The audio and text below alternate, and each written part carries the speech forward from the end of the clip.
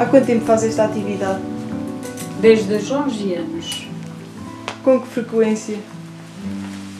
Agora já estou reformada e é só quando me apetece fazer um cesto. É que venho a fazer. De antes fazia 10, 12 horas por dia, todos os dias, e às vezes ainda mais, até trabalhava por minha conta. E costuma realizar a atividade sempre aqui neste sítio? Sim. Eh, até aos 31 anos trabalhei por conta de outros senhores.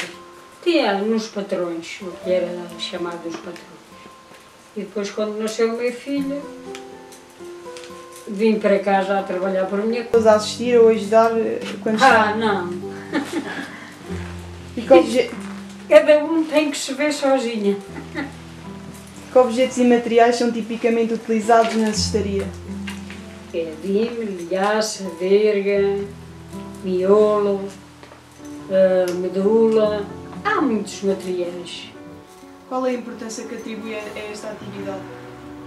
Olha, agora já não se atribui importância nenhuma, porque isto já está a acabar.